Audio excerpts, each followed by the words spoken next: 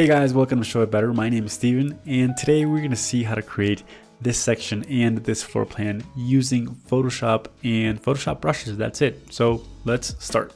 So this is a very, very easy tutorial. It's very basic uh, to make it, you know, to make a spoiler right now. It's just using your brushes, using specific drawing brushes and drawing it in the best way possible. That is basically it. And I'm going to show you how to do that, how I did it with the floor plan and with the section. Now, as always, if you want all the brushes, if you want the files and the watch the real-time video, you can go to our Patreon community, support us, and also have access all the files and all the videos and everything. And if you don't want it, no worries, then you can, you can always watch this video. Then You can always also slow down the video if you want. And lastly, I would love, love for you guys to subscribe and hit the like button. This It just lets me know if you guys are liking these type of videos and it just lets you guys know when I upload a new video. So if you guys want to hit receive a notification, turn the bell on, subscribe, and uh, yeah, let's start. Okay, so the magic of this section is in its textures or its or the plan or whatever you're doing is creating uh, textures that look like they were hand drawn, but honestly to create this in you know in, in digital mode is very very hard. So what i did was i drew the texture on my notebook. I drew different types of textures with pens and with pencils and i scanned them and i put them on as brushes in photoshop. So as you guys can see, I have these textures. I'm going to show them specifically. I have this cross hatch texture. I have this one, this other one, this diagonal one. This one is like a more like a smudge, a flurry smudge or something, a blurry smudge. Sounds like an ice cream. a flurry smudge. Can I have a flurry smudge, please? So this is another smudge, and I created this one as well. So, you know, I could, I, I also created like 10 more, but um, I'm just going to show you the example with this one. So as you guys can see, these are textures um, that were hand drawn and the magic is that once you repeat them a lot it looks like your section is hand drawn. So uh, with these uh, brushes in mind is that you are going to do all the texturing. You won't need any textures, any paper textures, none of that. Just with these brushes, you are going to do it. So as you can see, I have imported a normal floor plan to my Photoshop file, or you can import the section, whatever you want. This is the floor plan. This is the base layer. And now I'm going to create a new layer press B for brush tool and select the, one of the brushes that I have. So let's say this cross brush, right? So this is what it looks like. And I'm gonna put the opacity in about 10%. So you can click type 10 here, or you can, you know, just click on one in your keyboard. And what I'm also going to do is I'm going to go to shape dynamics and I'm going to just separate this a little bit. And I'm going to change the angle jitter. So each time I click, it's a different angle, as you guys can see.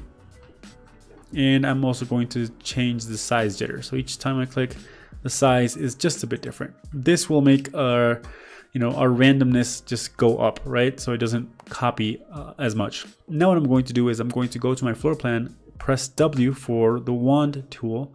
Then I'm going to select all the spaces that I want to draw in, right? So this is everything but the wall. So I'm just gonna select all of the spaces.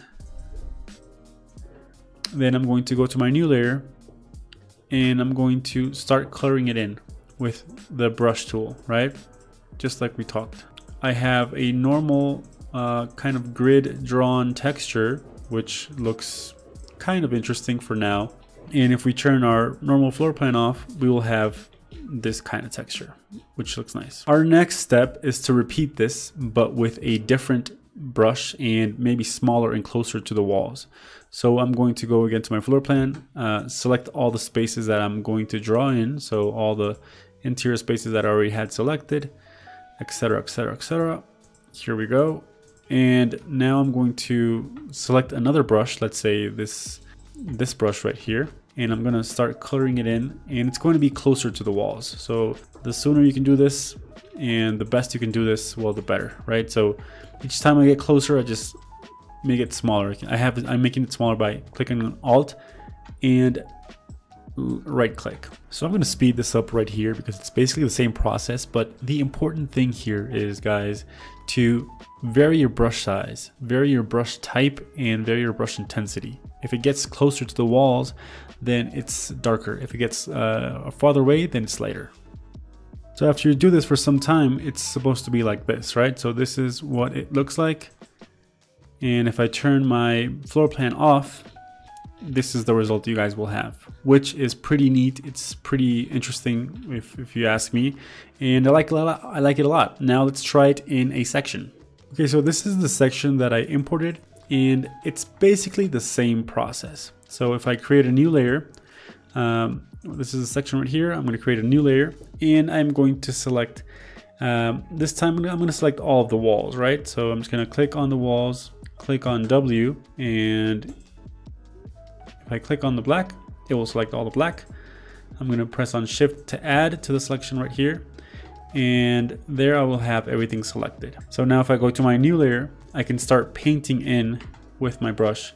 If I put it in 20%, as you guys can see, you can start painting in, you know, some strokes, some brush strokes, or you can do exactly the on the opposite uh, sides, right? So let's say that I want to paint everything but this. So what I'm going to do is I'm just gonna start, I'm gonna press Control Shift I and start painting in inside of the building, right? So let's just select like this and start painting inside. And I'm gonna speed this up because, well, it's a very long process. It took me about an hour to do this in the floor plan, but what you basically have to do is the same as what we did with the floor plan, which is, you know, select one of these big brushes and have it at a 10 to 5% opacity.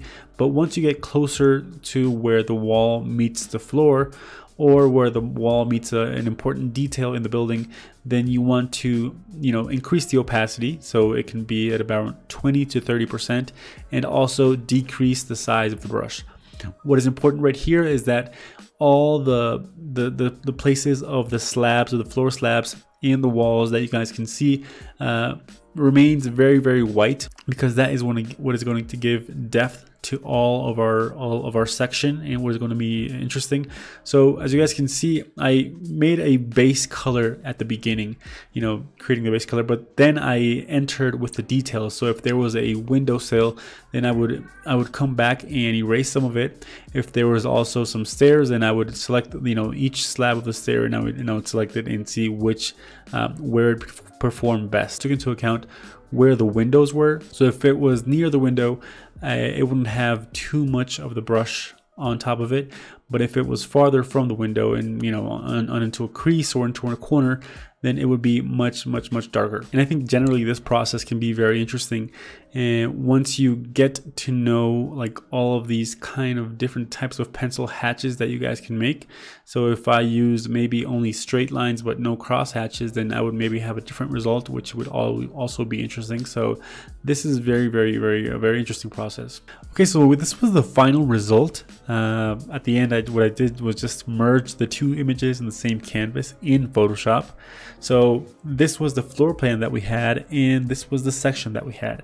Now, honestly, this is a very specific type of look. If you, you know, this is a very in a very high quality as well. So if you guys zoom in onto the image, you guys can even see how each pencil stroke performs and how it's kind of like darker over here to, to these sections. And if you if we go over to the floor plan, we can also see that this is much more notorious where you can see, you know, where all the walls are and all of the, you know, bases beyond the walls. So I really, really, really like uh, this kind of drawing. I think I'm going to be using it and I'm going to be maybe mixing some styles with renders, with clay renders, who knows. But as you guys can see with no render engine, this is the result that we get with no textures from Photoshop. This is just only the textures, only the brushes that we use. I really, really like this result and uh, let me know if you guys liked it as well. And if you guys would like to see more remember that i that i have one of these brushes for free and there's a link in the description. But if you want all of the brushes that i used here and you want to see the real-time video and have access to this photoshop file you can join our join our patreon community where you can also support the channel and join the community of patreons that have access to the files the real-time videos uh, discounts etc uh, this is like i want to repeat again this is not me trying to replace drawing. You don't, you know, I think I, I know there are a lot of conservative people out there, which is, you know, that they're going to comment, you will never replace drawing. You will never, um, no computer is ever going to be beat the hand, you know, whatever you want to say. But this is not the intent. This is just uh, one technique that you can use if you're not very good at drawing like for, for example i would never be able to do this with my hand. I would never be able to do this with my hand, even if I, you know, printed out the section, did all the stuff just as I did. Uh, maybe if I practice a lot, but I know that I can do it but much, much, much better here in Photoshop. So for all those people that are thinking kind of the same, then I suggest you use it and let me know what you guys think in the comments. Thank you guys for watching this video and I will see you in a next video, right? Bye.